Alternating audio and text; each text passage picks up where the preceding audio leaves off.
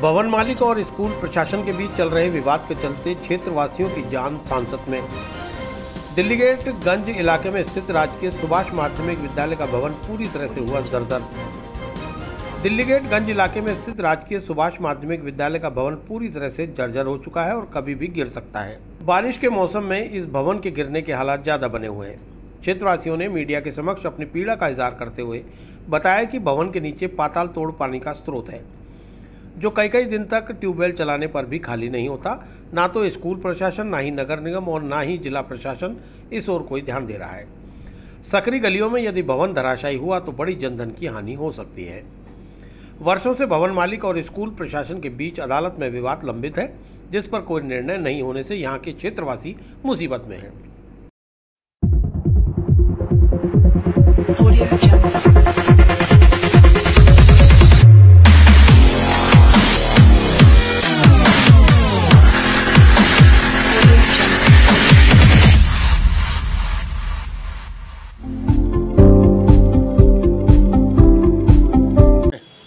करीबन दस से बारह फुट पानी भरा हुआ है जिससे हमारे मकानों को नुकसान हो रहा कहाँ पे है ये सुभाष स्कूल? ये सुभाष स्कूल दिल्ली गेट में स्थित है। दिल्ली गेट स्कूल गंज में स्थित है।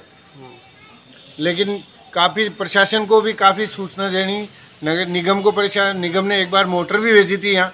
करीबन चौबीस घंटे मोटर चलने के बाद भी पानी नहीं टूटा इसका।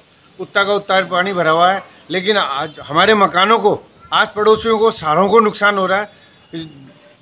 जिससे हम लोगों को खतरा पैदा हो गया है। क्या ये बिल्डिंग का जर्जर अवस्था के अंदर जर्जर अवस्था में है और इसको पूर्व में इसको जर्जर अवस्था का नोटिस भी दिया हुआ है लेकिन प्रशासन द्वारा कोई ध्यान ध्यान नहीं दिया जा रहा है इसके ऊपर। क्षेत्रवासियों का इस और क्षेत्रवासियों में वो काफ़ी आक्रोश पैदा हो रखा है इसमें। अब क्या चाहते हो आप? इसका इसका स्थायी समाधान किया जाए पानी का मलबा हमने काफ़ी मलबा भरवाया लेकिन कोई सोल्यूशन नहीं निकला उसका। क्या बारिश का मौसम में कोई बारिश के मौसम में बहुत भयंकर नुकसान हमारे मकानों को। कल न कोई हादसा हो गया था उसके लिए प्रशासन जिम्मेदार होगा। क्षेत्रवासियों ने बताया कि स्कूल भवन के आसपास 15-20 मकानों को खतरा पैदा हो रखा है। सीलन से मकान की दीवारें जर्जर होने लगी हैं। हर साल मरम्मत कराने के बाद भी स्थिति जस की तस बनी हुई है। अब तो आसपास के लोग इस भवन के पिछवाड़े टूटी हुई दीवार के नीचे कचरा तक डालने लगे हैं जिससे बीमारियों का खतरा भी बढ़ने लगा है। इस बारे में कई बार नगर निगम और जिला प्रशासन से पत्राचार कर भवन को मरम्मत कराने या फिर गिराने की अपील की गई, लेकिन कोई सुनवाई नहीं हो रही। लगता है हादसे के बाद ही प्रशासन जागेगा।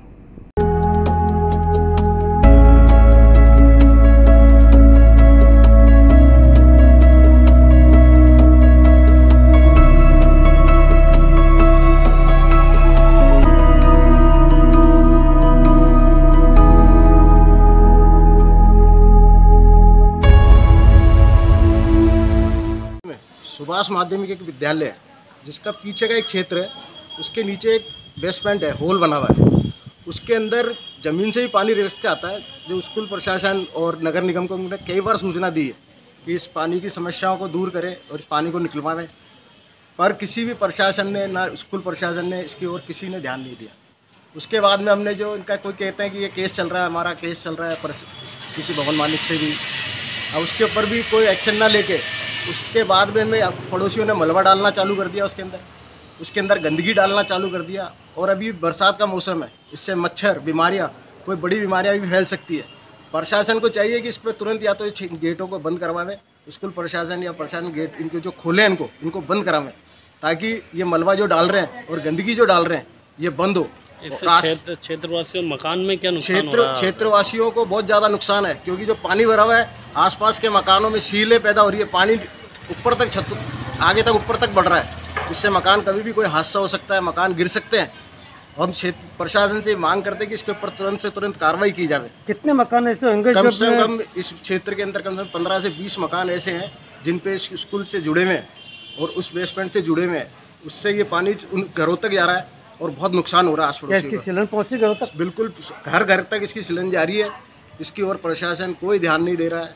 कितनी बार हमने लिख के दे दिया, सब जगह बोल दिया, लेकिन हमारे पास आज इसकी कॉपी भी है, जो कलेक्टर ने और एसडीएम ने को दी थी कि इस मकान को तुरंत ये स्कूल खाली करी जाए लेकिन आज तक कुछ भी नहीं हुआ उसके, आज भी वो कॉपी हमारे पास पड़ी है।